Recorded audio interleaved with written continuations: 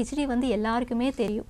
ஆனால் கிச்சடி சாப்பிட்டானா எல்லாம் நல்ல என்ன நினைப்பாங்கன்னா கிச்சடி வந்து நம்ம ஏதாவது வியாதி வந்தால் தான் கிச்சடி சாப்பிடணும் வந்து இந்த ஒரு இதாக இருக்கும். ஆனால் கிச்சடி வந்து வியாதி வந்தால் மட்டும் சாப்பிட்றதுக்கு இல்லை. நம்ம வந்து நல்ல அப்போ பசி எடுக்கிறதுக்கு கூட நம்ம சாப்பிடலாம். நிறைய பேர் என்ன சா சொல்லுவாங்கன்னா எனக்கு பசியே எடுக்கலாம் பசியே எடுக்கலாம்னு சொல்லுவாங்க. அந்த பசி எல்லாம் எடுக்காமல் இருக்கிறதுக்கு திருப்பி உடனே டாக்டர் கிட்ட போயிடுவாங்க. டாக்டர் கிட்ட போனோன்னா ஒரு மருந்து சாப்பிடுவாங்க. இல்லைன்னா ஏதாவது ஒரு சிறப்பு என்ஜிஎம் சிறப்பு கொடுப்பாங்க. அதை சாப்பிட்டுட்டு திருப்பி பசி எடுக்கிறதுக்கு. அந்த மாதிரி இல்லாமல் நம்ம வீட்டிலேயே சத்தான உணவுங்க நம்ம கிச்சடி செஞ்சுக்கலாம்.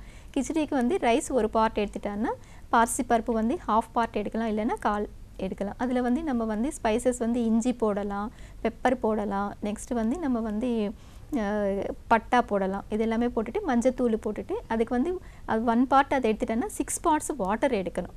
வாட்டர் க கண்டென்ட் தான் மெயின் இம்பார்ட்டண்ட் எவ்வளோ குவான்டிட்டி இருந்தோ அதுதான் மெயின் இம்பார்ட்டண்ட் போட்டுட்டு நம்ம செமி சாலிடாக சாஃப்டாக செஞ்சுட்டு சாப்பிட்லாம். நெக்ஸ்ட் வந்து எல்லாருக்கும் வேண்டியது வந்து மட்டன் சூப் அது எல்லாருக்குமே வந்து விரும்பி சாப்பிடுவாங்க. மட்டன் சூப் வந்து அதே மாதிரி மட்டன் சூப் வந்து டெண்டராக இருக்கிற மட்டன் தான் வாங்கணும். நல்லா ஃப்ரிட்ஜில் வாங்கிட்டு வச்சு சண்டே வாங்கி வச்சுட்டு மண்டேயோ இல்லைன்னா வென்ஸ்டேயோ செய்யக்கூடாது. என்றைக்கு வாங்கிட்டு வராங்களோ அன்றைக்கே ஃப்ரெஷ்ஷாக செஞ்சுக்கலாம். அதில் வந்து நிறைய வந்து நீங்கள் மசாலா பொருட்கள் எல்லாமே எதுவுமே போடக்கூடாது. வீட்டில் இருக்கிற ஜீரகம் மிளகு புதினா இது எல்லாமே போட்டுட்டு நீங்கள் மட்டன் சூப் எல்லாமே செஞ்சுக்கலாம். பசங்கள் வந்து இப்போ எல்லாமே பார்க்குறது வந்து அவங்களுக்கு வந்து இந்த மாதிரி சூப்பு கீப்பன்னா அவங்களுக்கு அந்தளவுக்கு ஸ்மூத்திஸ் வேணால் நான் ரெண்டு ஒரு ஸ்மூத்தி ஒரு பேன் கேக் சொல்கிறேன் இது வந்து பசங்களுக்கு நல்லா இருக்கும்.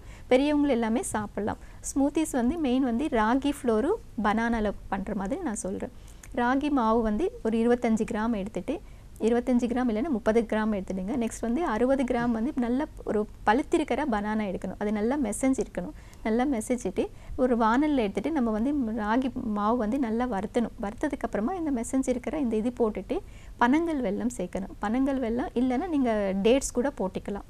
அது உங்கள் விருப்பம். பனங்கள் வெல்லம் போட்டுட்டு நல்லா வறுத்துட்டு அதுக்கப்புறமா ஒரு டூ ஹண்ட்ரட் எம்எல் மில்க் அதிலே போட்டுட்டு ஃபைவ் மினிட்ஸ் பாயில் பண்ணால் போதும். அது அப்படியே வந்து நீங்கள் திக்காக வந்துடும். அது திக்காக வந்துடும். அது வந்து நீங்கள் வந்து காலையில் வந்து பிரேக்ஃபாஸ்ட்டை கூட நம்ம கொடுத்துருக்கலாம். ஏன்னா நிறைய பேர் வந்து நம்ம ப்ரெட்டு அந்த மாதிரி தான் கேட்பாங்க. அது இல்லாமல் வந்து நம்ம இதையே கூட கொடுக்கலாம்.